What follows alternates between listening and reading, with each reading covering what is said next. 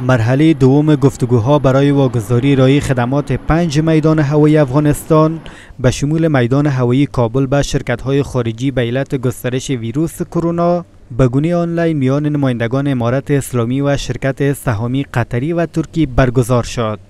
سر از امروز مذاکرات ما دوباره آنلاین آغاز است و انشالله که آنلاین کار می‌کنیم تا وقتی که مسائل آنلاین حل شود و وقتی که ضرورت به مذاکرات روی به روی بود باز انشالله که روی به رویش هم انجام میده.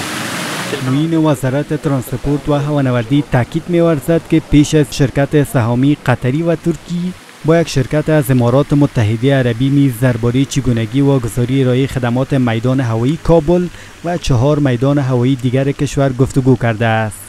این وزارت می افزاید که امارات اسلامی از میان شرکت های امارات متحده عربی و شرکت سهامی قطری و ترکی یکی را با بهای مناسب و داشتن میارهای خوب برخواهد گزید. با امارات هم گفتگوهای شده بوده در مو وقتش و ادامه داشت و بعضی مسائل هم وقت قریب به توافق رسیده بودیم و بعدا کشور ترکیه و مسئله قطر هم آمده. زمونږ د امارت اسلامی نه دا تقاضا ده.